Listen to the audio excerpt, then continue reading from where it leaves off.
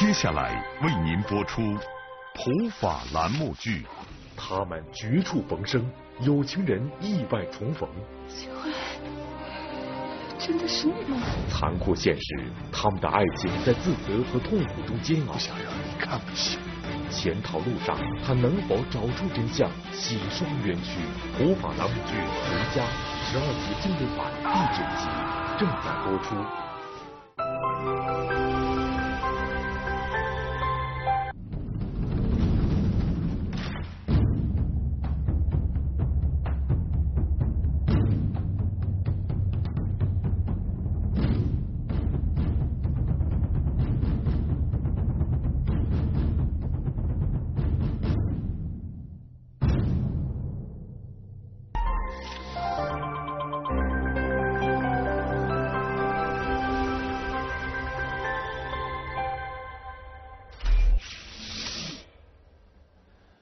普法故事，品百味人生。这里是普法栏目剧，我是主持人王小磊。今天我们继续为您带来《回家》的第九集。前边我们说到，男主人公齐辉因为涉嫌杀害了自己的继父黄富贵，遭到了警方的逮捕。后来呢，看守所转移在押人员的时候，在高速公路上发生了车祸。为了能够和自己的母亲在春节之前见上一面。齐辉就趁着这个机会逃脱了，而且呢，他是阴差阳错的跟护士何林啊，还有陈金河夫妇、李国强等人走到了一起，一路同行。而在这个过程当中啊，齐辉无意当中发现李国强竟然就是指证自己杀害黄富贵的目击证人，其实是个杀人嫌疑犯，而且他还认识黄富贵。但是他却一直极力的隐瞒这个事实。齐辉试图从李国强的身上找到线索，洗刷自己的冤屈。这个时候，司机老罗的车子在山上遇到了车祸，齐辉为了救大家，跟着这个车一块摔到山崖底下去了，生死未卜。另外，齐辉的家里，他的妹妹发现哥哥是被冤枉的，杀害黄富贵的凶手啊。可能是她自己的男朋友付大宽，她准备呢向警方说出真相，可是突然发现自己怀孕了。另外一方面，陈金河曾经目睹李国强故意撞死王富贵的情人刘玉丽，于是以此为要挟，一再敲诈李国强，结果呢，被李国强推到山底下去。李国强为了掩盖罪行，对大家说陈金河不小心掉到山底下去了。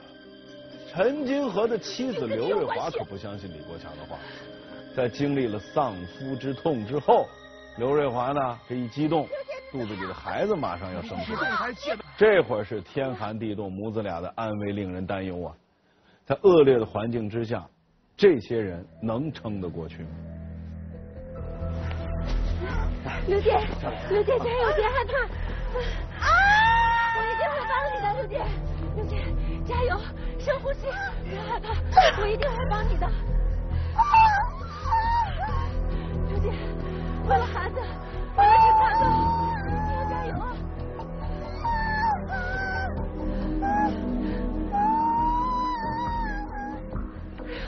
糟了，他难产了。啊？难产？难产要死人的？怎么办？现在只能给他保暖。可怜，你干什么？你会被冻死的。这天气太冷了，如果他要是发烧的话，那情况就更严重了。等一下，用我的。你要是再病了，就更没人救他了。可是，可是他刚才那么对你。我怎么会跟他计较？来，我就说嘛，国江是个好人，怎么能害人家呢？那我现在要给他接生了，罗大哥，你帮我进去把刘杰抱着，稳住他的情绪。好。国强，你想办法去烧点热水。我，国强，来，我这里面有饭盒。好了，我知道。哎，姐，六姐，你听我的，不要害怕，先深呼吸，深呼吸。对了，加油！你要是觉得疼的话，你就咬着我。来。为了陈大哥，为了孩子，你一定能行的。小火箭，满满的火箭！刘姐，加油，用力，刘姐，用力！再呼吸，加油！加油！加油！加油！加油！用力啊，刘姐！加油！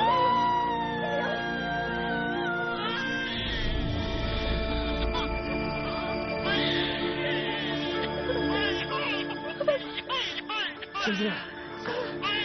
圣经，国强，我回来了，生了！刘姐她生了！生了，国强，国强，生了。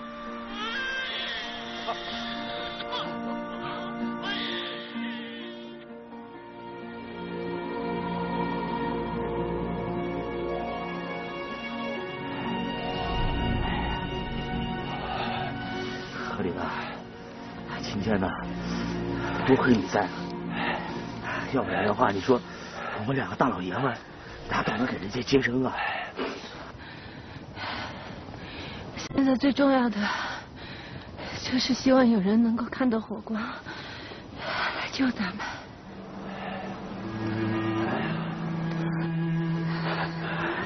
何林，你说咱们会不会冻死在这儿会的，放心，不会的，一定会有人来帮咱们的。我看，我看选这齐辉摔到山崖下去了，老陈，老陈也没了，这小刘还有孩子，也凶多吉少。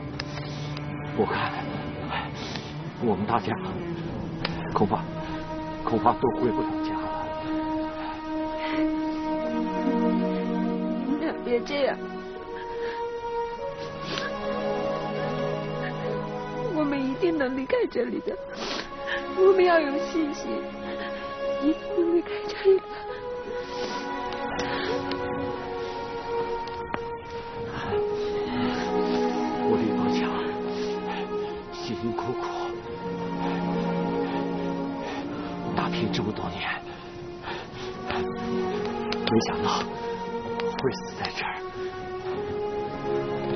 之前，连我女儿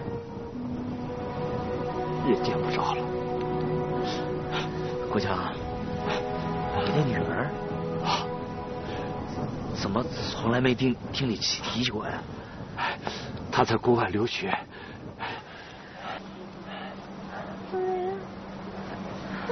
刘姐，我在呢，来，来，小心一点，我去，啊，小心一点。过来，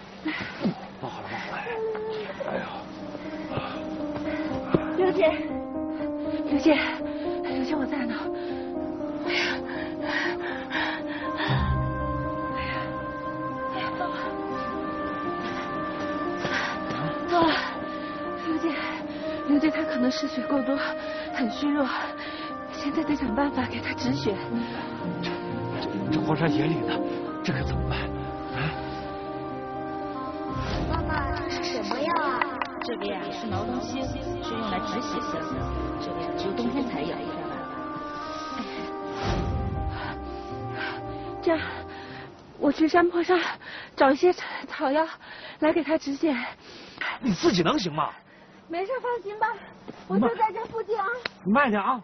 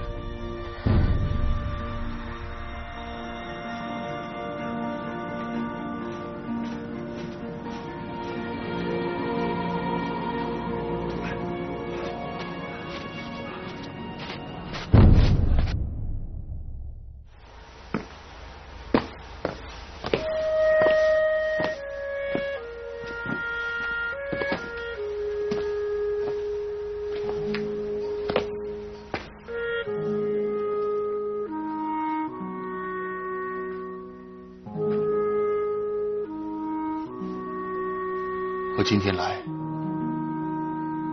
就是想把整件事情都跟你说清楚。小敏，那天晚上那个混蛋侮辱你以后，我看着你的样子，我作为你男朋友，我比谁都生气。小黑，小大宽，你怎么才来？这小鬼精！啊，大哥打你了？这混小子，打你哪儿了？啊，我看看，啊，打哪儿了？啊，你看不见，这这这这眼睛看不见了，眼睛都，这都是都是他打的，我这，哎呦，哎呦，哎呦，我这这听听着听着，这边呢？这边没事吧？啊，这这这边还还好，哦，没事没事就行。啊！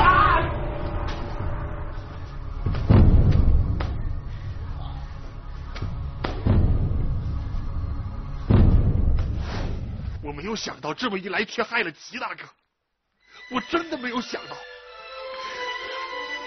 我也恨我自个儿，我对我自个儿说：“我说你能不能不要这么窝囊？你能不能这么结巴一点？”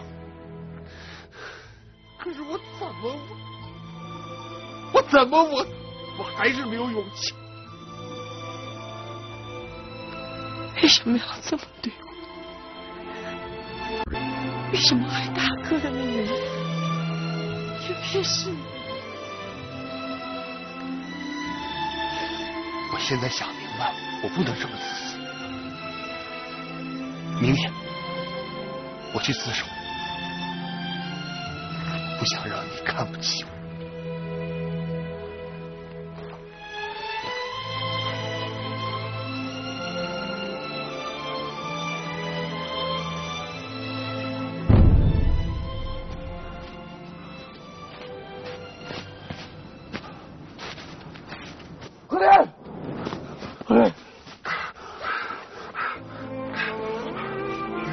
坚持住，坚持住！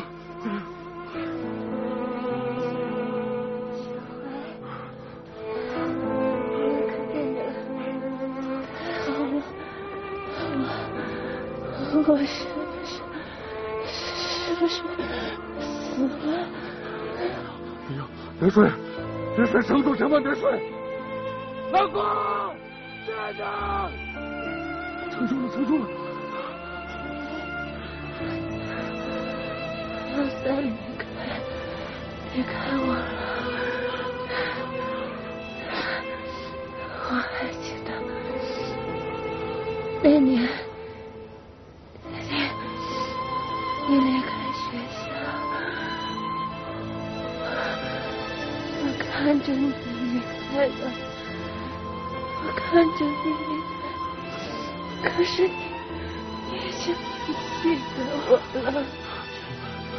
记得，我全都记得。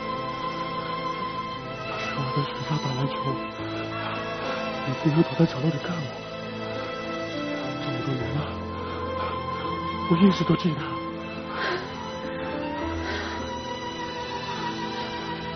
我真的记得。我还记得那天晚上，你对我说，离开我们的亲人，都会在天上指引着我们。当时你问我，还有没有让我牵挂的人？有，有，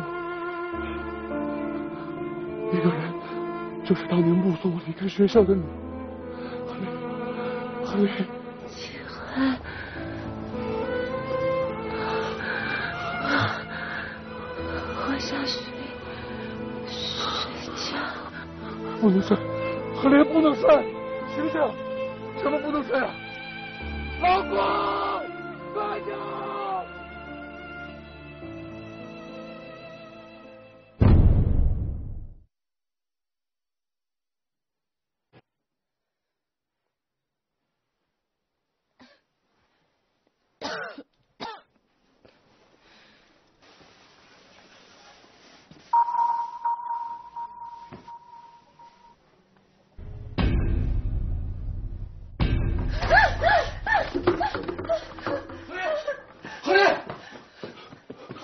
没事吧？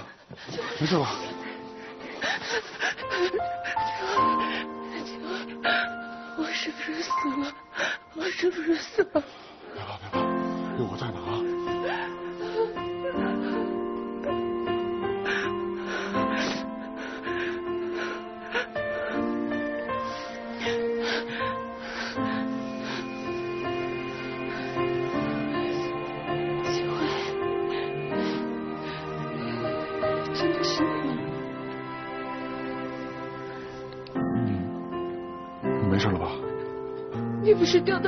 到下面去了吗？真的是你救了我。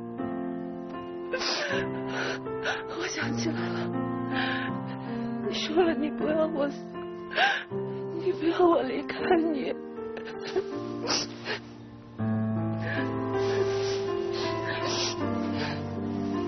我我当时只是想救你，说的那些话，你别当真。你们没事吧？他是我的救命恩人。小兄弟，这到底是怎么回事啊？你们跟着车一起掉悬崖下面？我从车里被甩了出来，挂在一棵大树上。后来是老郭经过那儿，才把我救了。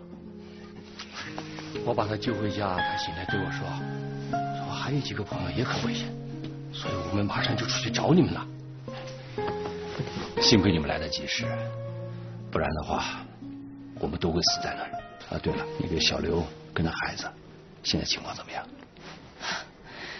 刚才郭大哥拿了些药，我已经给他们吃了，现在情况基本稳定一点。凡事啊都要有希望，你不用安慰我。虽然老陈不在了，但我还有儿子，我会为了他变得坚强起来。你真的能这样想就好了，可丽，谢谢你。要不是你，我们母子。何林，郭大哥让你去吃东西。啊，弟妹，陈兄弟的事儿，我真的非常遗憾，但请你相信我，我是尽了全力想救他，但我没用，只能眼睁睁的看着他摔了下去。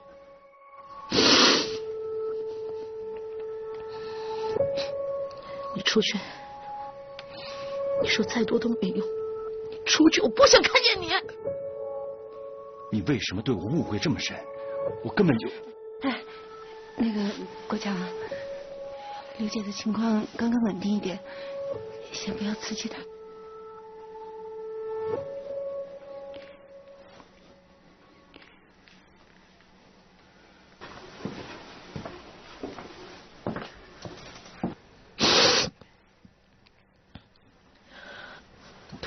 对了，何玲，我跟你说，李国强这个人肯定不是什么好人，你别跟他走太近了。我绝对不相信李国强会做这种伤天害理的事情。也许啊，你是真的误会他了。不瞒你说，老陈走之前跟我说过，让我有机会提醒你提防李国强。老陈他不是一个喜欢在别人背后说是非的人，他一定是知道了李国强什么秘密。可是陈大哥跟李国强根本就不认识，又怎么会知道他的秘密呢？不知道。老陈已经走了，就更没人知道。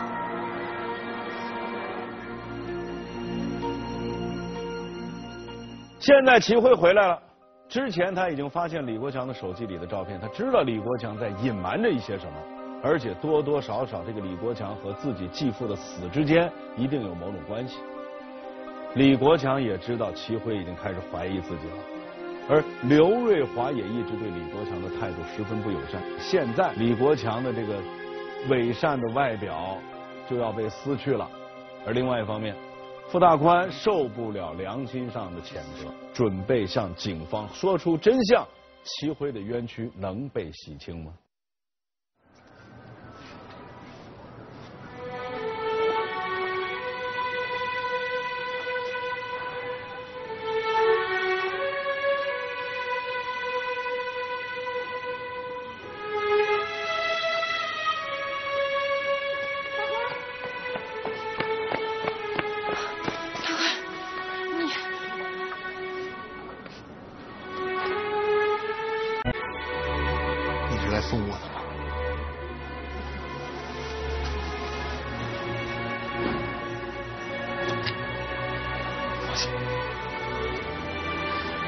把真相说出来，大哥就没事。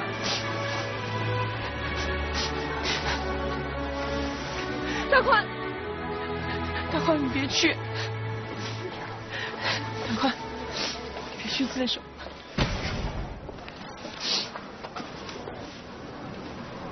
秦敏，上次在医院，你不是有话跟我说吗？医院？什么医院？没，我没什么话要跟你说。你不是说刚刚让我去你家吗？走吧。真没话跟我说呀？没有没有，快走啊！还愣着干什么？走啊！啊，张警官、谢警官，我们走了。秦明有事儿瞒着我们，这付大宽有问题。小明，你告诉我，他刚才说你去医院，你去医院干什么？啊？你怎么了？我怀孕了。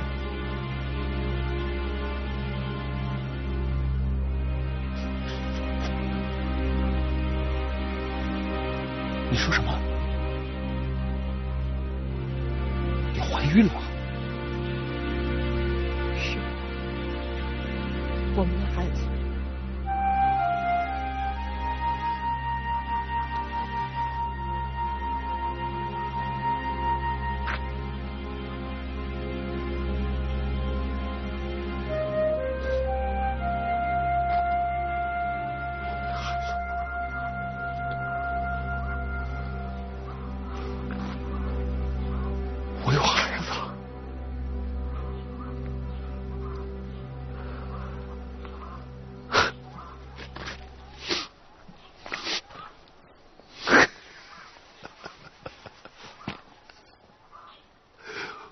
我有孩子，我有孩子。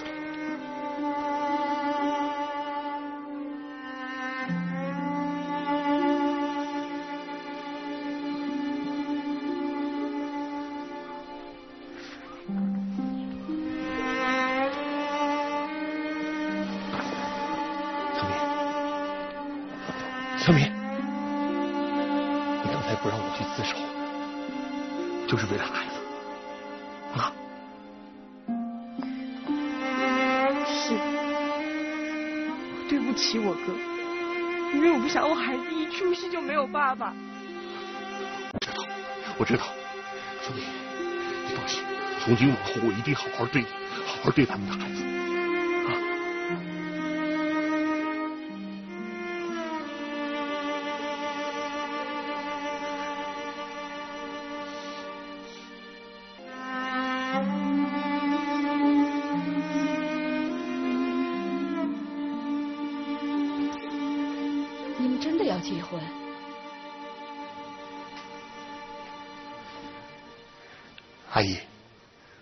希望你能够答应让小敏跟我结婚。你跟小敏在一起这么多年了，我早就把你当成半个儿子。只是，是，阿姨，我知道现在不是最好的时候，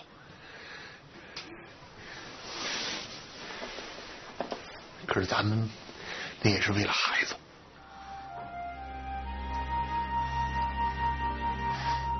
我明白。那行吧。谢谢妈。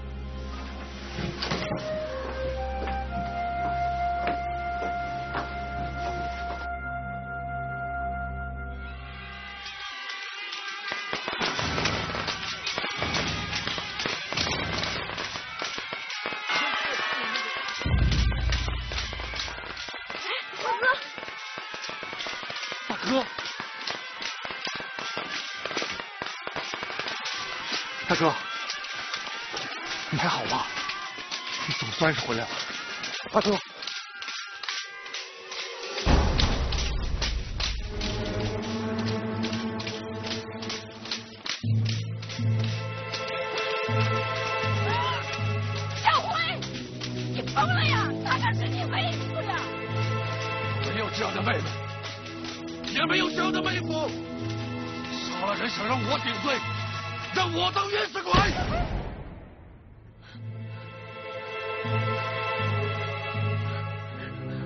哥，是我对不起，这是我犯了。小米，妈，你刚才说什么呀？什么对不起你哥呀？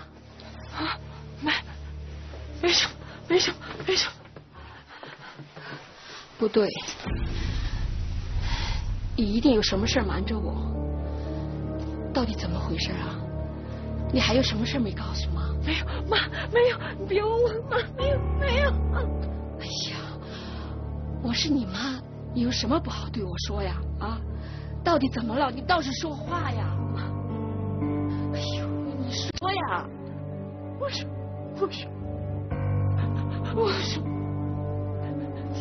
其实杀黄富贵的人不是大哥，是是是大哥。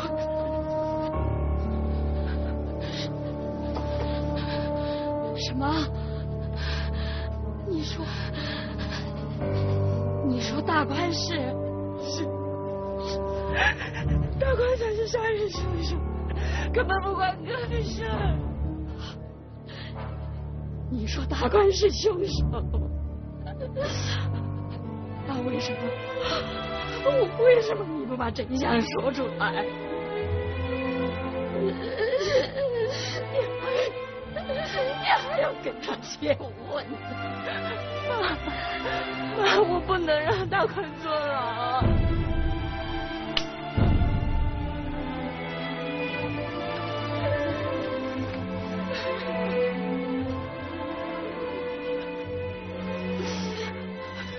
亏你大哥这么疼你，你这有什么对他？你大哥是死活，我们都不知道。你真是太自私了！是，我是很自私，我也很恨我自己，我也很恨我自己。为什么你还到现在都小弟，小弟，小弟，你别这样，傻孩子，你这样会伤了你自己，伤了你孩子。妈，我该怎么办？老天爷，你要惩罚你就惩罚我吧！你为什么要让我的孩子这么痛苦？这是为什么？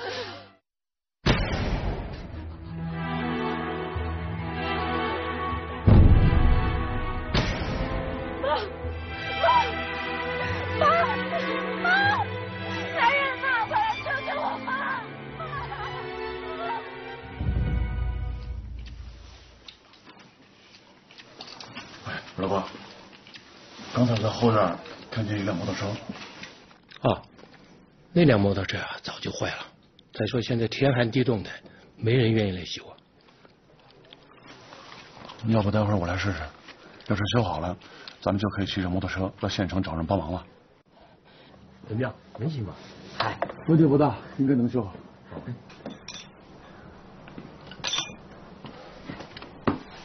怎么样？修好了吗？快了。又下雪了。哎，那天上是什么呀？哎，啊，这不是快过春节了吗？村民们都喜欢在这段时间把那些天灯放上去。天灯？啊，这是我们这儿很早以前留下来的习俗。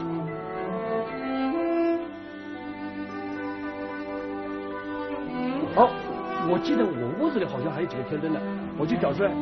你试一下啊？行。哇，好大的雪呀！哎，郭大哥这是干嘛去了？啊，郭大哥呀，给咱们拿天灯去了。说这儿啊是他们的一个习俗，每年过春节的时候都要放，放天灯。哎，哦，郭大哥，来，我这儿正好有五个，咱们一人一个啊，把你的药都写上。来来来，自己演啊。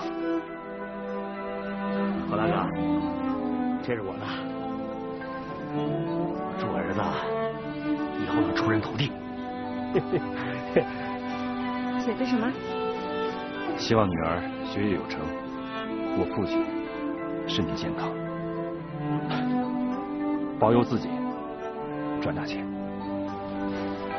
那么多愿望，你也太贪心了吧？多多益善吧。对了，好像从来没有听你提起过你老婆。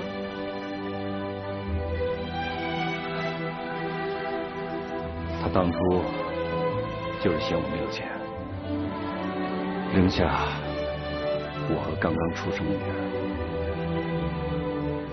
跟我一个有钱的同学走。所以你就特别怕自己没有钱，拼命的赚钱。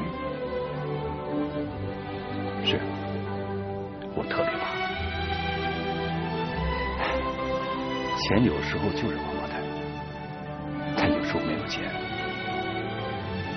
也王八蛋。不说我，你许下了什么愿？我希望刘姐和孩子都能健康平安，也希望能和自己爱的人走在一起。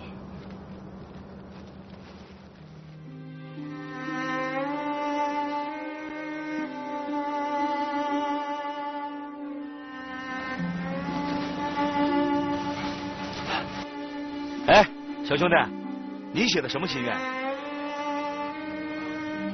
没什么，瞎写的。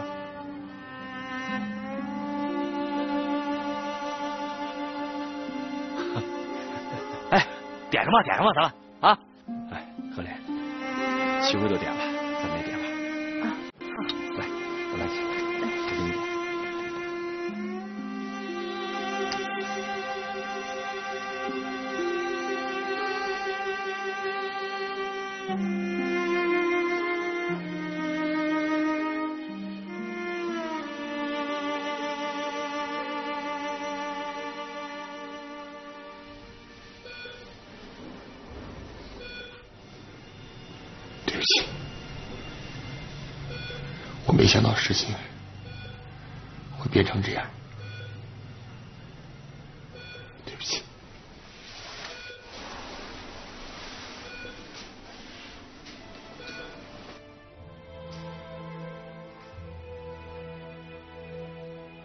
宽，大宽，大宽，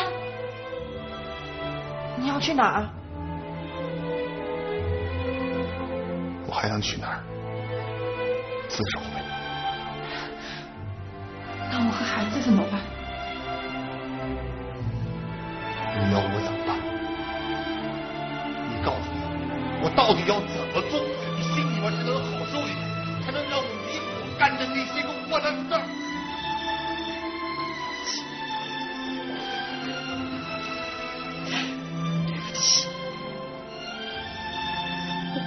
该怎么办，我好难受，我不知道该怎么办，大宽，你不要走，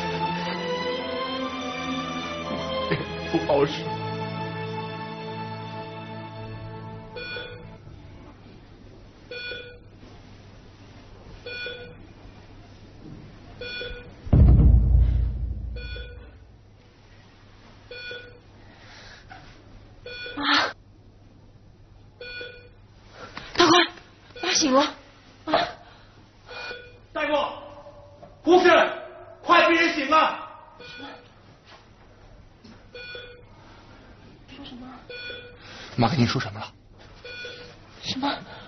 啊，我听不到。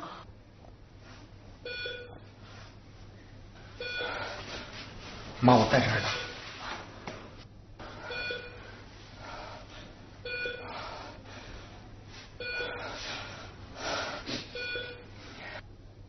妈，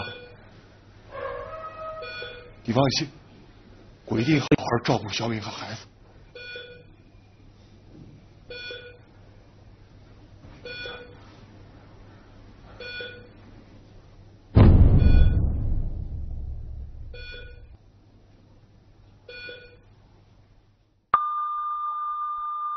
大夫，大夫，快，快去救我爸！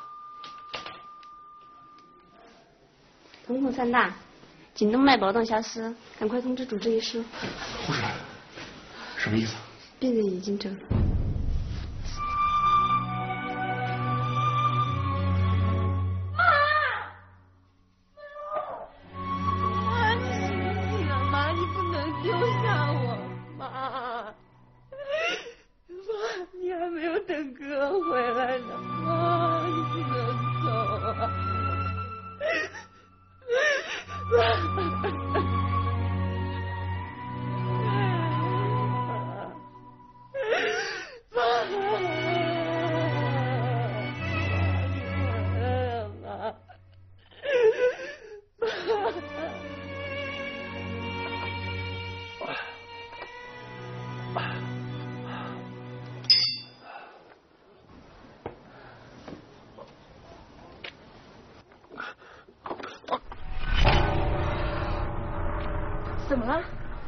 没事。你受伤了？我看看。我说了没事。站住！你为什么要这么对我？我还记得我快死的时候，你抱住我的温暖。你说了你不想让我死。我不记得。可是我记得。说你从来没有忘记过那个在学校看你打球的我，这些年你一直都记得。你还说过你已经错过了我一次，你不想错过第二次。你说你不想让自己后悔，你说的这些话我都记得。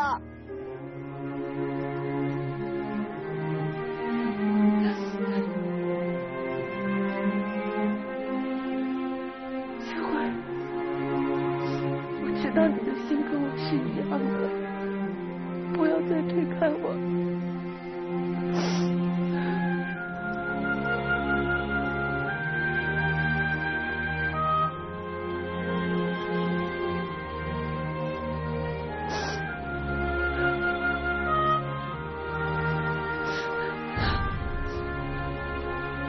你别这样，我当时是为了救你，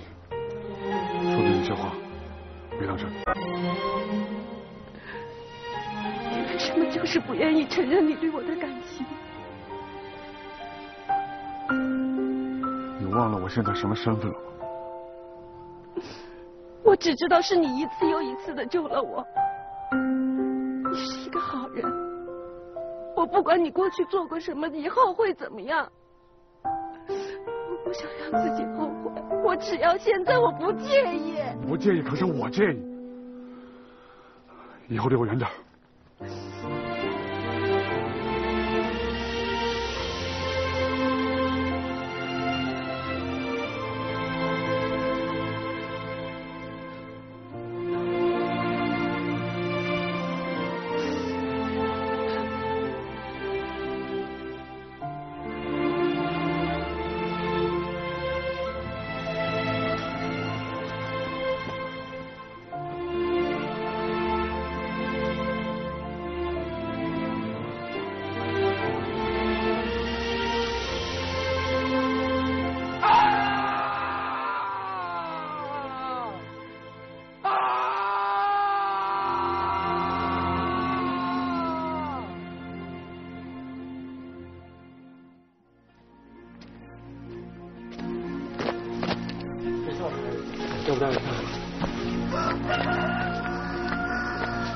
大凡，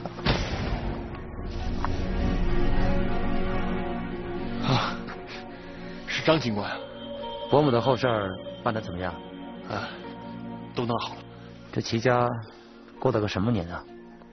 先是黄富贵死了，接着齐辉又成了嫌疑人，现在伯母也去了。是，谁都不愿意看见这样的事发生。依我看呢，这些事的罪魁祸首就是杀死黄富贵那个凶手。要不是他，齐家也不会出这么多事。是，二位警官，我齐大哥也是一时冲动啊，杀了人，还希望你们能够能够宽大处理。齐辉现在只是犯罪嫌疑人，没有人说他一定是凶手。这个案件还在进一步侦查中，不排除有人栽赃嫁祸的可能。嫁祸？谁会这么做？你们查出来了？没有，这不正在查吗？你知道什么吗？你你们警察都不知道，我我哪知道？那没什么事，我就先回去了。付大宽。